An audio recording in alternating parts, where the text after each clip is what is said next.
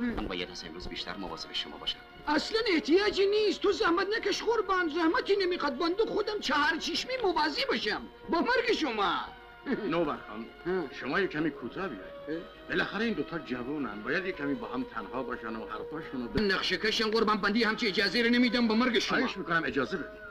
به خاطر موی سفید شما چشم. حالا که شما اصرار دارید من موافقت می‌کنم.